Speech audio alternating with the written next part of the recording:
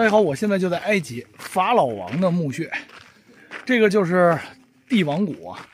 哎，来之前一直听说这个法老的这个陵墓是金字塔，来到了以后确实是金字塔，但是由于呢这个法老啊真的是被偷怕了，真的偷怕了。我们知道这个法老的金字塔主要是干嘛用的呢？是这个复生用的。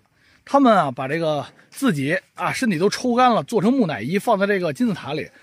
在他们觉得三百年以后可以这个复生，但是实际上到现在为止，没有一个金字塔的这个法老的墓穴是没被偷的，连法老的这个木乃伊都偷走了。虽说这木乃伊啊现在是这个文物啊是无价之宝，但是这玩意儿放家里是不是也有点瘆人啊？所以这些法老呢又在这个卢克索啊另辟蹊径。找了一个人迹罕至的地方，非常的干燥，也适合保持这个木乃伊的干燥。这个地方叫帝王谷，挖掘了二十六个法老的这个墓穴。看啊，这个就是帝王谷啊，就光看视频里边，你们会不会觉得就很热呀？哇，这这这烤白薯一样。哇，现在地表温度五十多度啊，要命了。这是拉美西斯九世的墓穴啊，我现在进去看看到底什么样。从墓穴里看啊，我们这些这些文字啊，都是古代的象形文字，还都有颜色啊，保存的非常的完好。他们所供奉的、信奉的这个啊，你看猫头鹰啊，太阳神、牛神啊，还有上面的鹰神啊，都非常的颜色保存的非常的好。哎呀，真是奇迹啊！这个墓已经三千多年了，保存的还这么完好。顶部啊，还有这个天使的翅膀啊，大天使，还有这个哦，这个是什么？有两个法老王，中间是一个神哦，中间是一个神，后面有很多的仆人啊，忠实的仆人。而这个就是墓的主人啊，拉米西斯九世。这个就是鹰头的太阳神啊。发现了一个奇怪的事情啊，看这几个三个蓝色的小人都有头哈，但是这三个都没有头，并且从上面的画儿这个墙来看，它压根儿就没有头，它是一个无头石，这又是为什么呢？这个墓穴啊。Nice, nice, nice, very nice。我这个是它的地宫啊，它的地下，呃，前面有一个大坑，应该就是它停灵的地方，就是我们所说的这个木乃伊存放的地方啊。但是现在已经没有了，因为这个，呃，拉美西斯九世他的这个木乃伊没了，消失了。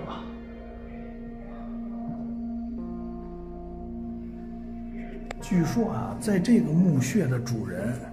他拉美西斯九世的木乃伊之前和另外七十九个木乃伊一起被拿拿到了那个帝王谷的一个山上，因为他们的后代怕他们祖先的木乃伊丢了。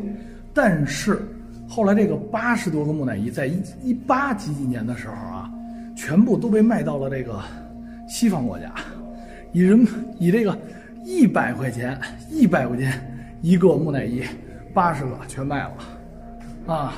这个是真够廉价的，放在现在，现在我估计连块那个裹尸布你也买不下来。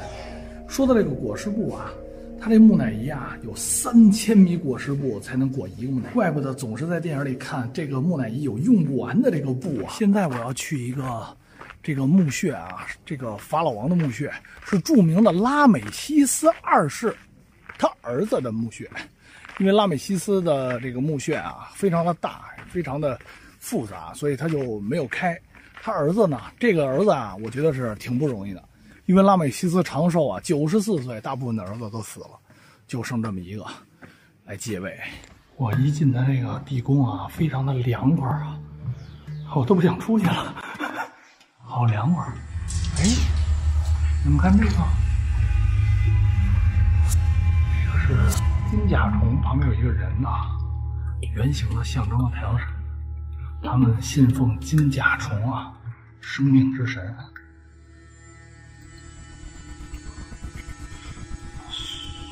上面壁画啊，保存的非常的完整。看它这个墙啊，可以摸，是可以摸这个墙。为什么还掉白灰呀？感觉像新刷的不过摸的这个墙也是距今现在三千多年啊，三千三百年历史的这么一个墓地啊。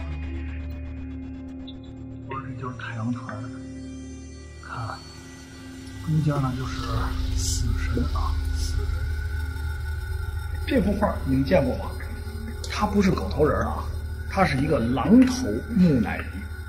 在古埃及法老的时候，他的职位非常的重，是主管死亡的神，死神阿努比斯。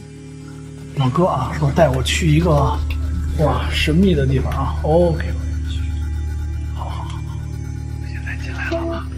去我是水子。现在看这个壁画，啊，这个壁画，看看看看壁画，这个里边的壁画这是没有人的，我们要进入到一个没有人的地方啊。拉米西斯三世和太阳神，这个狼头人啊，可是真不简单啊，在。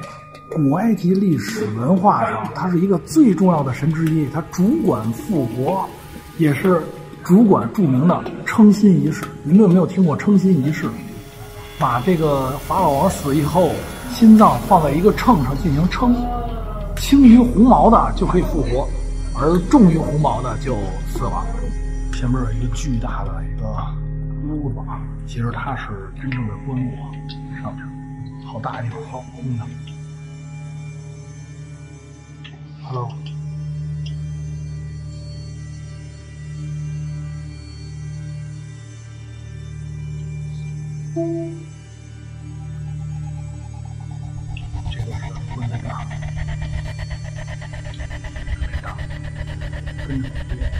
哦，可以在这儿看啊，哦，不是，这个这个是。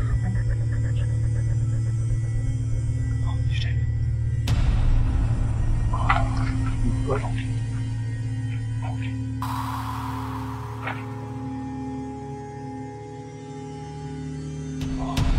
这个是近距离看到的棺材里边什么？样。